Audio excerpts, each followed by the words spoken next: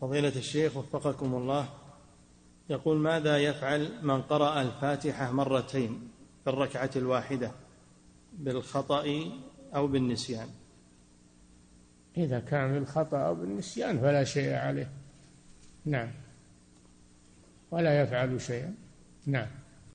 إعداد مشروع كبار العلماء بالكويت أعزها الله بالتوحيد والسنة.